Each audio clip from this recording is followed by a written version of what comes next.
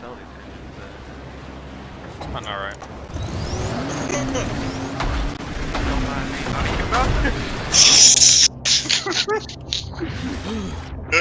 Come get the tow cable. I'm sorry, I don't think I'll be able to recover that, dude.